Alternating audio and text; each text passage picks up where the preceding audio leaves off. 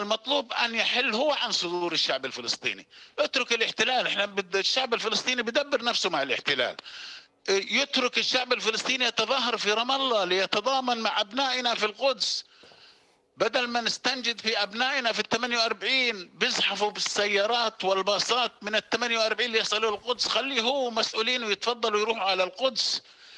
أما إنه ارحلوا عن صدورنا ماذا ارحلوا عن صدورنا؟ ماذا تفعل مع الشهداء؟ ماذا تفعل مع المحاصرين في قطاع غزة؟ أوقف وقف الرواتب التي تحارب الناس في أقواتها. هذا هو الأفضل.